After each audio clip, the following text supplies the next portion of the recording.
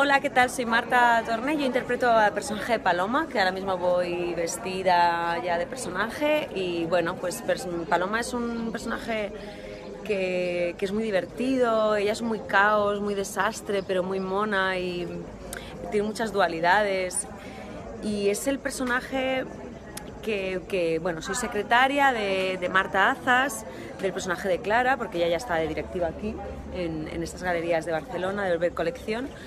Y, bueno, llega un poco con el corazón roto porque se ha separado de su ex y está un poco, es muy enamoradiza, le gustan todos los chicos de las, de las galerías todos y ninguno a la vez, o sea que no tampoco se aclara mucho. Pero, pero bueno, es buena, es buena, cosa que yo me alegro de interpretar un personaje bueno, de buen corazón, muy divertida, con mucha energía.